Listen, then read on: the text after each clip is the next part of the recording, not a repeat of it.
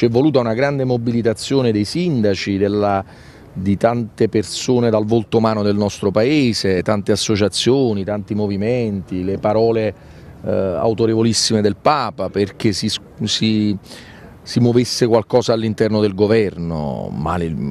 la fotografia che per muoversi poi hanno dovuto attendere la disponibilità di sei paesi dell'Unione Europea è una pagina assai triste, perché credo che il governo italiano avesse l'obbligo giuridico di farli sbarcare immediatamente, oltre che l'esigenza di umanità che l'avrebbe dovuto contraddistinguere, poi dopo c'è un tema che riguarda l'Europa, che ognuno deve fare la sua parte, ma io credo che eh, lo scuotimento delle coscienze è stato dovuto alla sensibilità di una parte importante del nostro Paese che sta scrivendo delle pagine molto belle di umanità, di rispetto delle regole, del diritto, del diritto internazionale,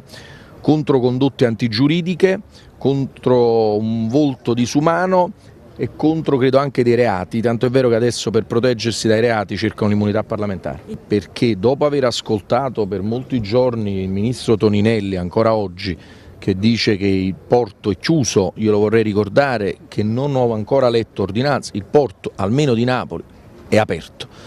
Poi ho ascoltato Di Maio dire che avrebbe sequestrato le navi, vorrei ricordare a Di Maio che esiste ancora una Costituzione